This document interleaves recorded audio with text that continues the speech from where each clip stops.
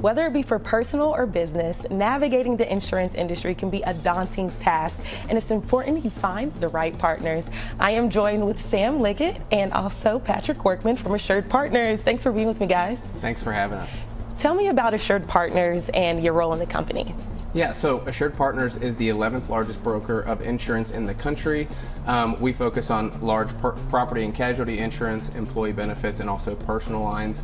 Uh, we do have a large presence here in Lexington locally. We are the largest broker in, in Lexington. Um, I am the agency sales leader for the office, so I oversee uh, about 25 producers uh, and am also a property and casualty agent as well. All right, and Patrick, what's the role you play? I'm in the commercial lines division, focus on property and casualty, and uh, work hand in hand with Sam. What sets you apart from other insurance companies?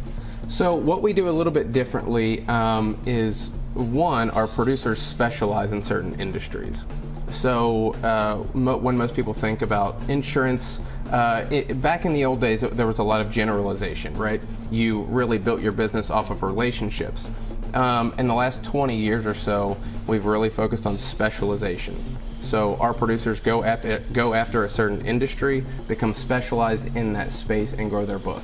That allows you to provide a lot more um, a lot more insight to your clients, not only in the insurance space, um, but it allows you to, to grow your network in that industry and provide value outside of that. Um, the other thing that I would say we do well is when we meet with a prospect or a client, it's not just insurance we focus on. Mm -hmm we sit back and we listen and we try to, to become partners with them to grow their business in whatever way they would like. So uh, we try to stay versatile, obviously specialize in the insurance, uh, but do other things as well. And when it comes to commercial lines, I know there's a difference between claims management and claims handling. What is that difference? And so that's a big part of what we do, kind of add to what Sam's saying and what sets us apart.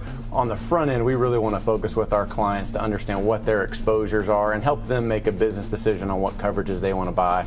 The worst thing that can happen is you have a claim and expect something to turn up and it ends up being the opposite. So we really want to get on the front end of that and then internally, we have a claims department that works for Assured Partners. They're not for the uh, insurance carrier, they work for us. So we work with them to get claims opened and then closed out. A lot of times what happens is a claim will just sit there and become stale and the adjuster isn't uh, talked to, there's really no updates and it just kind of lingers. So that's a big part of what we do, to really manage a claim from start to finish and get it closed out however it needs to be done. And if people want more information, where do they go?